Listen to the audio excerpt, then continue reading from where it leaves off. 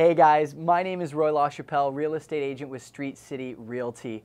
I've been a real estate agent for a year and a half now, and today I want to talk to you about how to survive your first year in real estate. Let's get into it. When I first got started, I was all over the place. Since many people told me so many different things, I was trying so much that I didn't really know what was working and what wasn't working for my business. So I decided, and now this was later in the year, that I needed to focus on three or four things that I really enjoyed doing that grow that will help grow my business and do them well. Focus on those and put all your passion and, and time into those and, and tweak those along the way. You know, it's gonna take about six months to really focus and, and realize on what works, what doesn't work.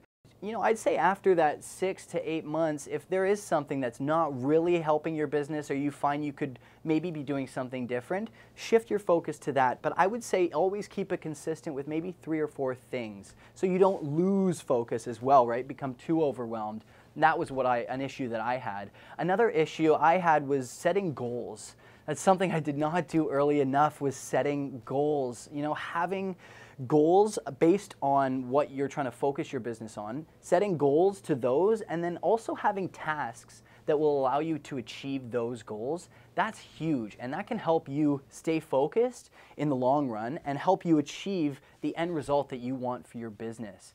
And another point I want to talk with you about is being confident.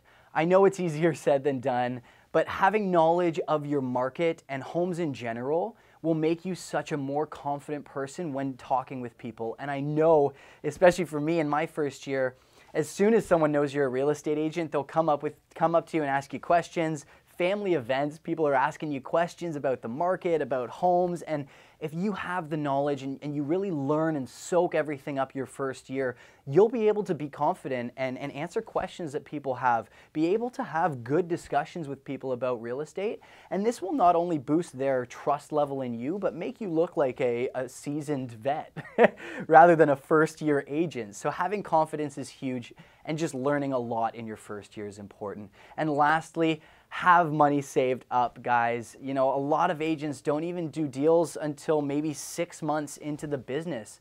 So having a budget in play, having money set out month to month uh, with your business expenses, you know, being able to live, you want to have that money set out and, uh, and disperse it evenly among those three to four things that you've decided to focus on. And this will allow you to just live a bit more comfort, comfortably and not be too stressed out because you never know when your first deal is going to come. Maybe in the first month, maybe not till six to eight, eight months down the road. So you just have that money saved up and have a budget.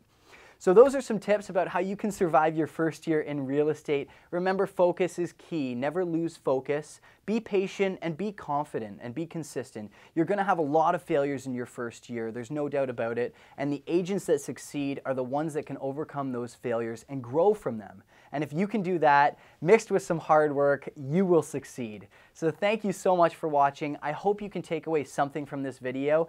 Go out there and crush your first year in real estate.